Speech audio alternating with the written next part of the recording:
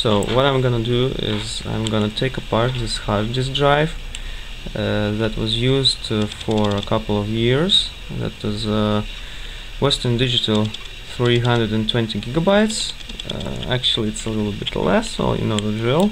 So to unscrew it you have to use the Torx type uh, screws uh, not, not screws but the instrument here it is. So to unscrew it you have to use a Torx T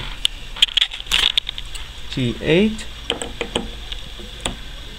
screwdriver it's quite hard to work with one hand. So the first thing I'm gonna do when uh, I unscrew this is that I'm going to connect it to the PC so that virtually Virgin hard disk drive could be seen working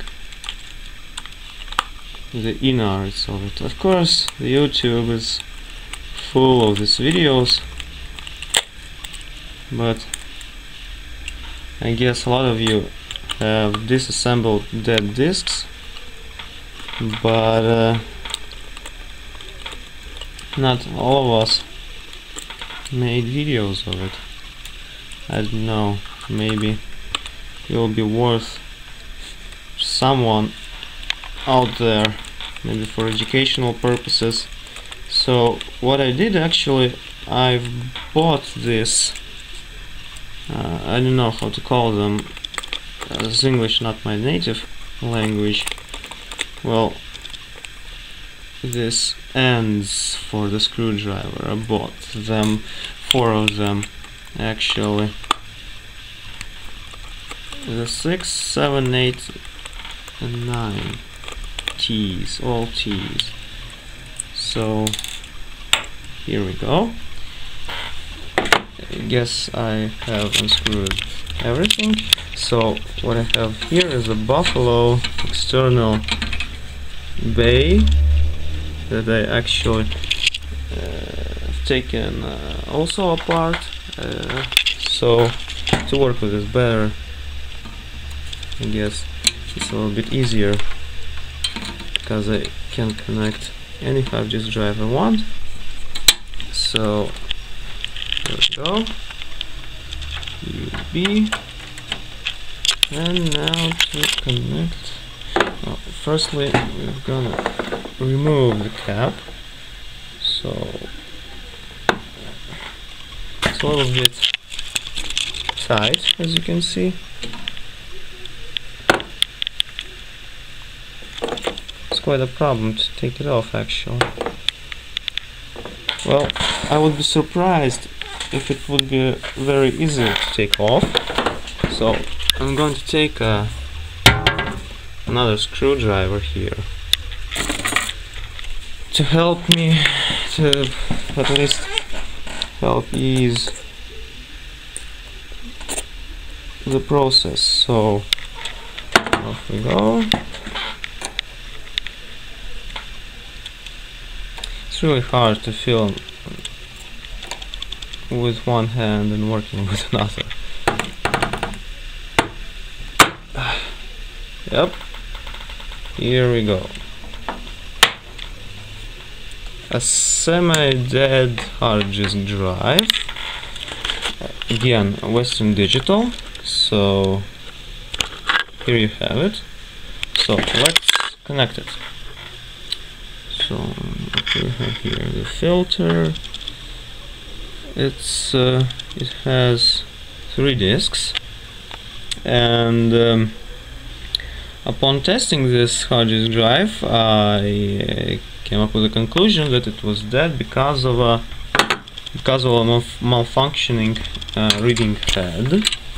So, oh, here we go, and connect it up.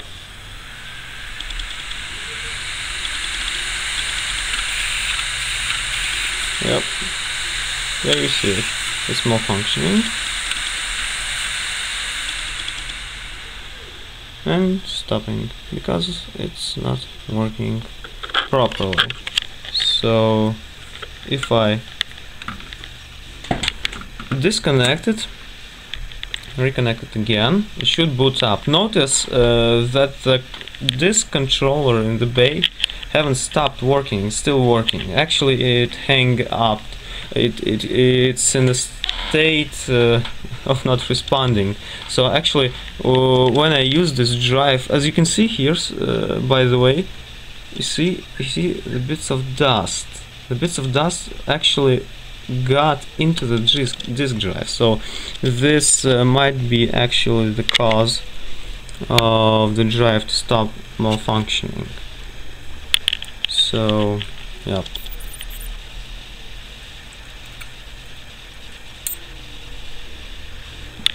That's quite a squeaky sound. Again. So the sound indicates the sound indicates that the heads use a thin layer of uh,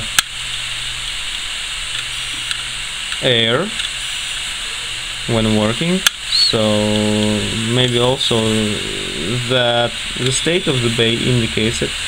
Uh, normally you would have the heads uh, sitting somewhere here actually um, but Western Digital has done something something really else. As you can see, the operating system haven't found the disk.